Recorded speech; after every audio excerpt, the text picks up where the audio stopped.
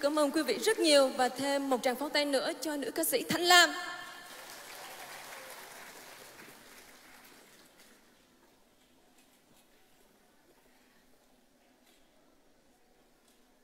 À, và tiếp theo xin được hát bài hát Cầm tay mùa hè, sáng tác của nhạc sĩ Dương Thụ.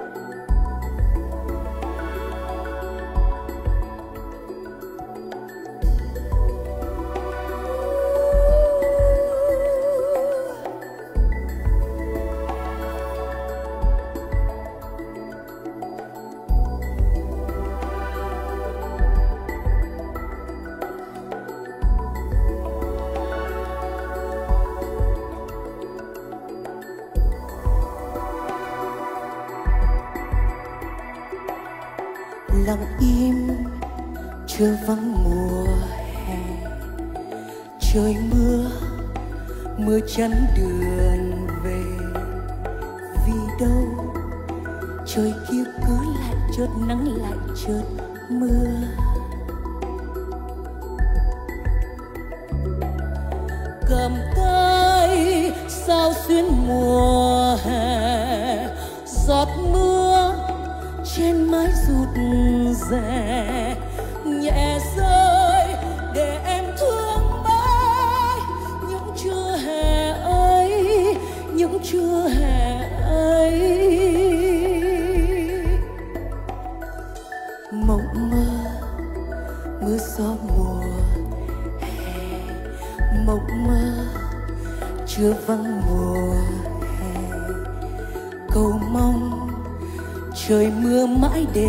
Mãi hương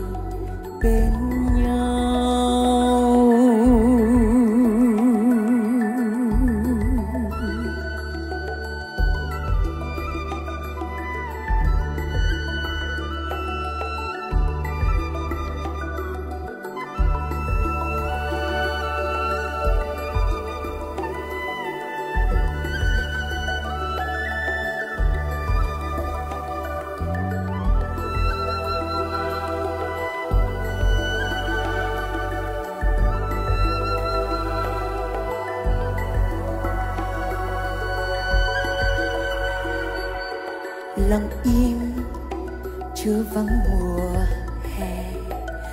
Trời mưa mưa chắn đường về. Vì đâu trời kia cứ lại chợt nắng lại chợt mưa. Để anh dòng bão mùa hè, để anh con sóng mùa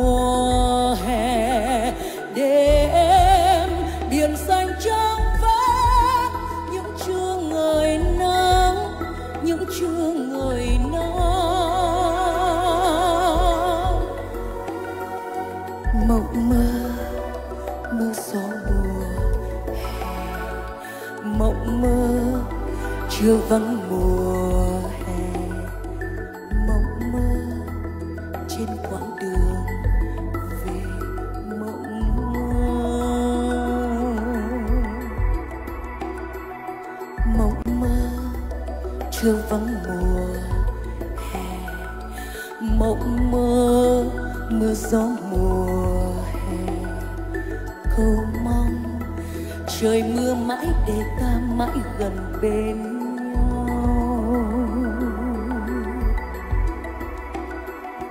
Mộng mơ, mưa gió mùa hè, mộng mơ, chưa vắng mùa hè.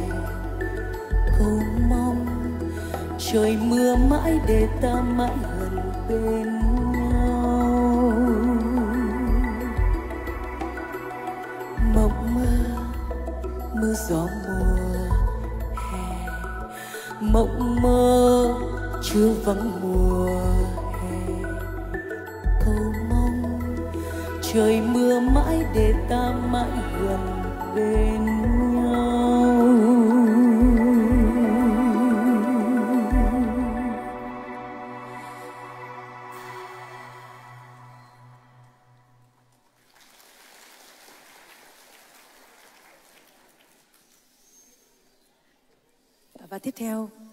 là bài hát Một thoáng Tây Hồ, sáng tác của nhạc sĩ Phó Đức Phương.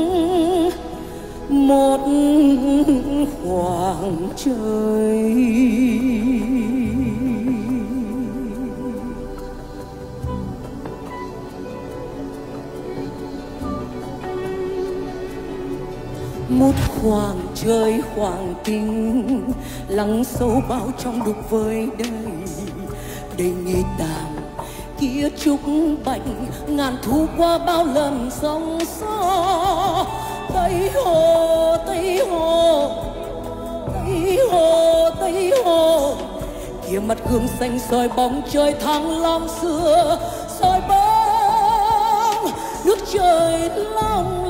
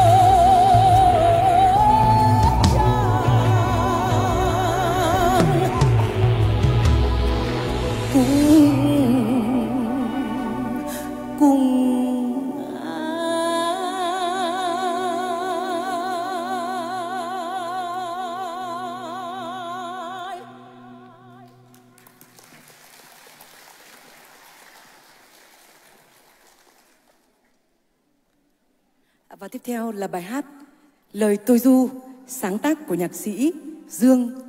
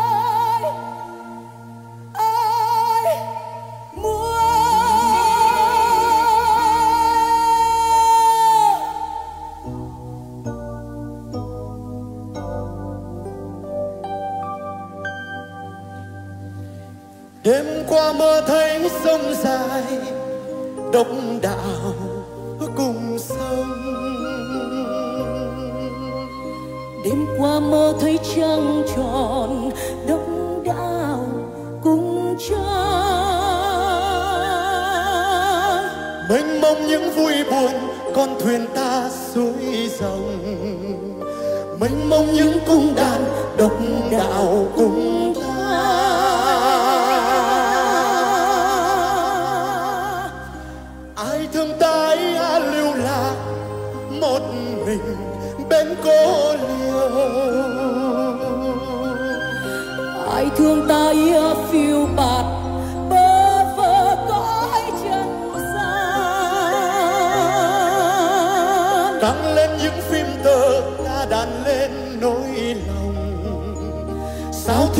cách xa độc đạo càng xa.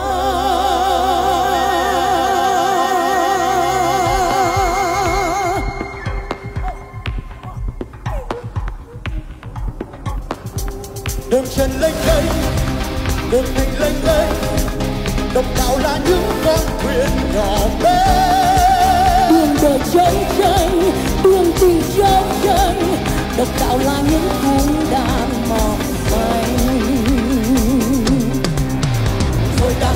خيطان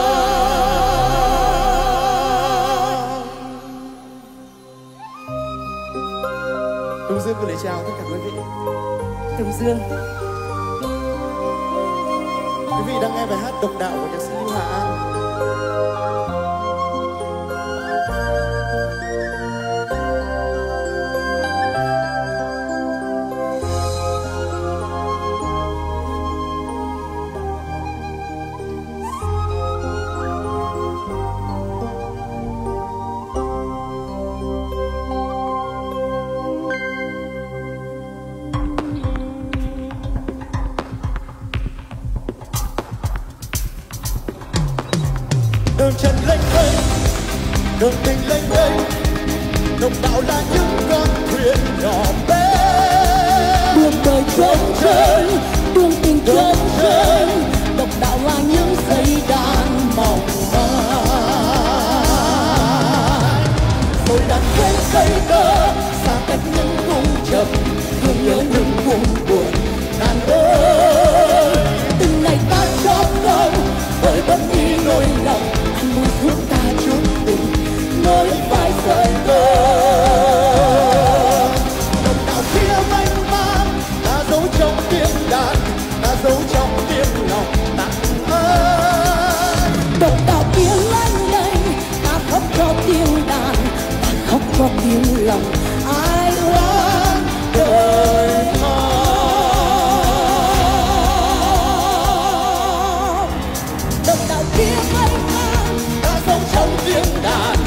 ta trong tiếng lòng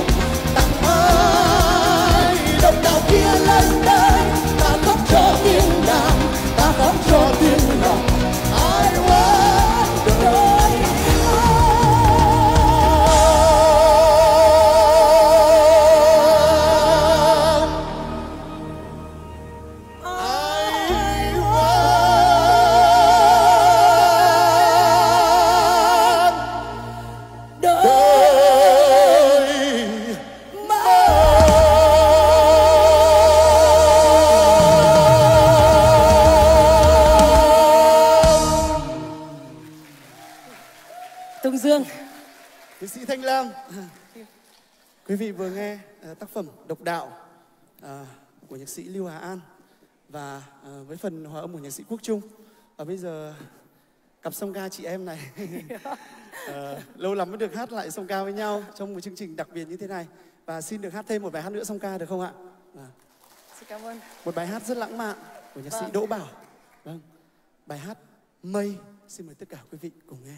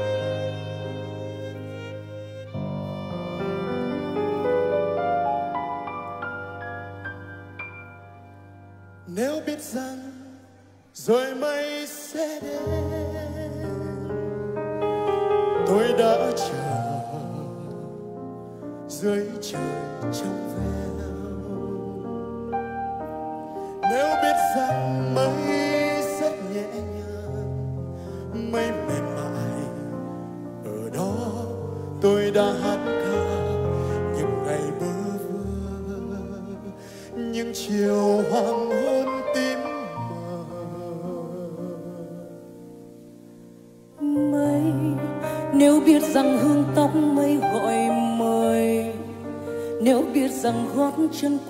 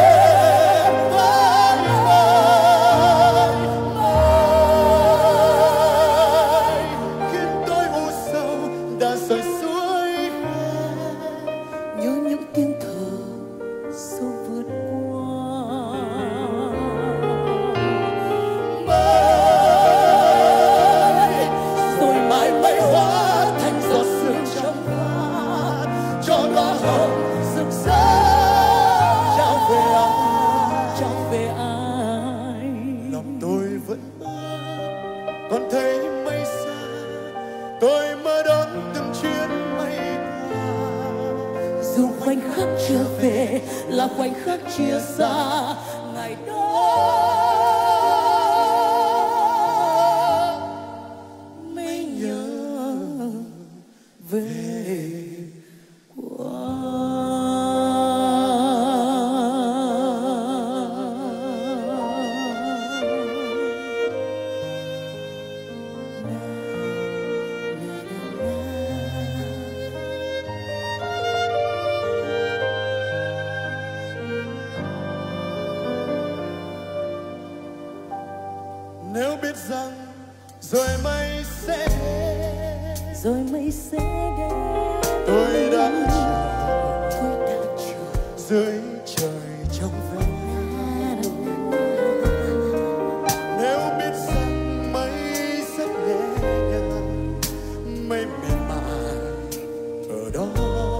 tôi đã hát ca những ngày mơ vơ.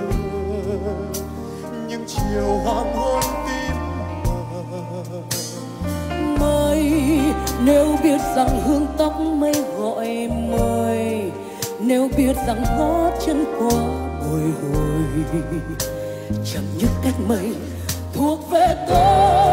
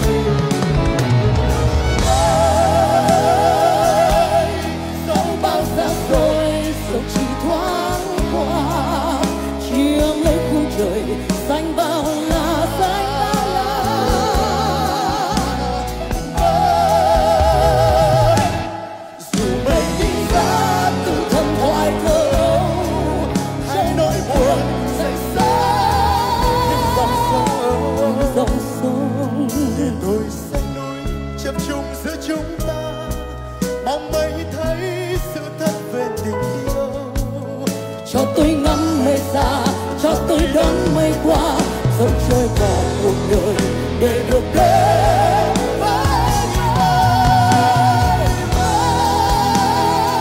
người Biết tôi buồn sâu đã dòng suối trẻ nhớ những tiếng cười sâu vượt qua.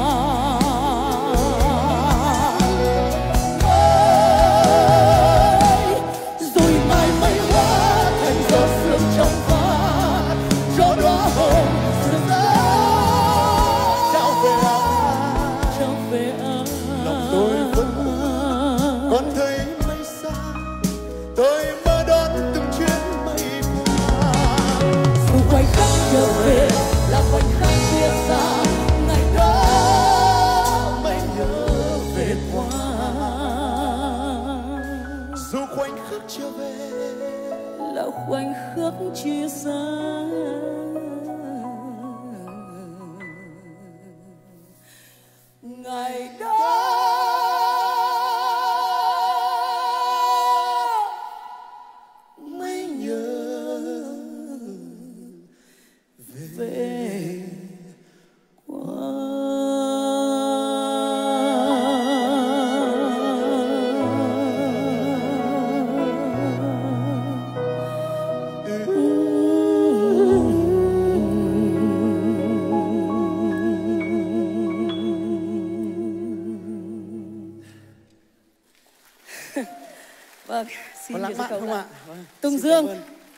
thanh lam và nhóm Vâng, xin được cảm ơn hai nghệ sĩ với sự kết hợp đầy nồng nàn, da diết và cháy bỏng. Xin quý vị một lần nữa một tràng pháo tay thật nồng nhiệt dành cho nghệ sĩ ưu tú Thanh Lam và nghệ sĩ Tùng Dương. Và anh Duy xin phép anh Tùng Dương là sẽ giữ chị Thanh Lam đá lại sân khấu được không ạ? Vâng, cảm ơn anh Tùng Dương. Hẹn gặp lại anh sau một ít phút nữa. Chị Lam thân mến, bây giờ chúng ta sẽ cùng trò chuyện một chút để khán giả ngày hôm nay biết thêm nhiều những cái cảm xúc của chị. Và những người mà yêu mến chị Thanh Lam, theo dõi những bước đi của chị, luôn luôn nhận xét một Thanh Lam ở trên sân khấu cháy bỏng, mạnh mẽ, đầy cá tính. Thế nếu mà chị Thanh Lam tự nhận xét về mình thì chị sẽ dùng những tính từ nào để mô tả những cái cá tính của mình khi bước lên sân khấu ạ? Thanh Lam nghĩ rằng là tất cả những cái um, nhận xét thì khán giả đã dành cho Lam những cái uh, từ như cá tính này ờ, rồi là bốc cháy này gì đại khái là Thanh Lam chỉ muốn một cái điều giản dị với riêng mình là một Thanh Lam dung dị của cuộc sống. Đấy quý vị thấy không ạ? Rất nhiều người nghĩ rằng chị ấy luôn luôn cháy bỏng, luôn luôn mạnh mẽ Nhưng chị ấy lại tự nhận mình là một người dung dị Tôi chỉ cháy bỏng trên sân khấu thôi. Dạ vâng, đấy. Rất là đầm thắm ở chỗ đấy và rất là tinh tế ở chỗ đấy. Nhưng đó mới tạo nên một thanh lam để chúng ta thêm yêu mến. Và đặc biệt mỗi lần sự xuất hiện của chị luôn luôn thu hút sự chú ý của rất nhiều khán giả. Và không lần nào giống một lần nào cả Kể cả cùng thể hiện một ca khúc đã rất quen thuộc rồi. Và lần này thì anh Duy được biết là lần thứ hai chị đến với Trúc Bạch Concert. Thì không biết là lần này cảm xúc của chị như thế nào Và chị có muốn gửi gắm điều gì tới những khán giả đang theo dõi đêm nhạc hôm nay không ạ? À, Thanh Lam sẽ bật mí một cái điều rất là bí mật. À, mỗi lần mà được hát ờ, trong ờ, những đêm nhạc của Bia Trúc Bạch Concert thì Thanh Lam rất là nhớ bố của mình ạ. Quý vị có biết vì sao không ạ? vâng, à, khi mà ông còn à, trẻ thì cứ chiều đến khoảng 4 5 giờ ông lại chở con gái của Thanh Lam à, đi ra hàng bia và uống một cốc bia tươi trúc bạch. Vì vậy mỗi lần mà hát ờ, và hát cho đêm nhạc à, của concert bia trúc bạch thì lại rất là nhớ bố ạ. vâng. À, thưa quý vị, không biết quý vị cảm thấy thế nào chứ còn bản thân anh Duy cảm thấy rất xúc động khi mà những cái giây phút như thế này lại khiến chị Thanh Lam nhớ về người cha thân yêu của mình cũng là một người nghệ sĩ lớn, một người nhạc sĩ lớn của chúng ta. Và có một điều mà tôi nghĩ rằng là bia Hà Nội và bia Trúc Bạch sẽ cảm thấy Thế rất tại là sao tự không hỏi là mỗi lần à, à, ba chị uống bia xong thì ông sẽ như thế nào?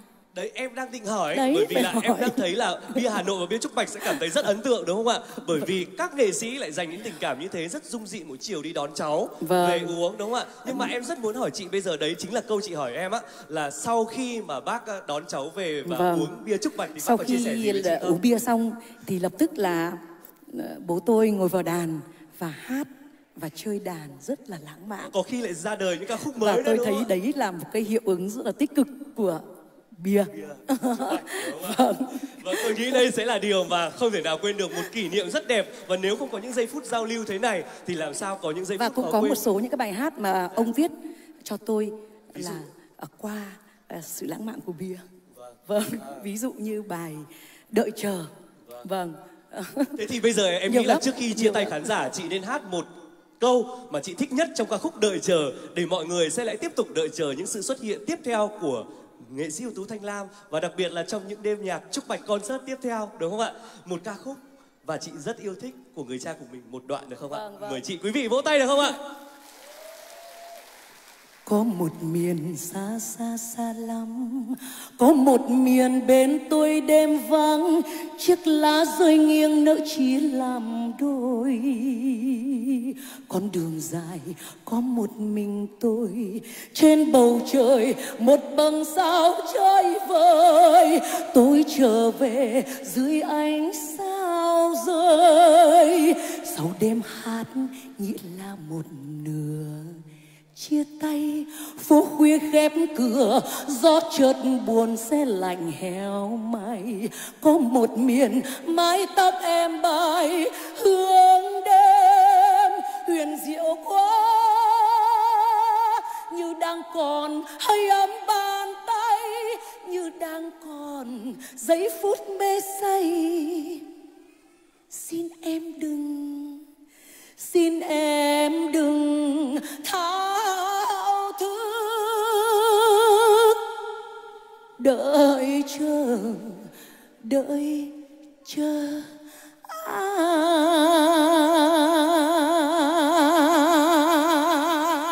Quá tuyệt vời. Những cảm xúc mà chị hát ở đây không cần nhạc đúng không ạ? Nhưng đó là những cảm xúc chân thành từ đáy lòng của nghệ sĩ ưu tú Thanh Lam gửi đến quý vị, gửi đến Bia Hà Nội và Bia Trúc trong đêm nhạc hôm nay. Một lần nữa, nghệ sĩ ưu tú Thanh Lam thưa quý vị.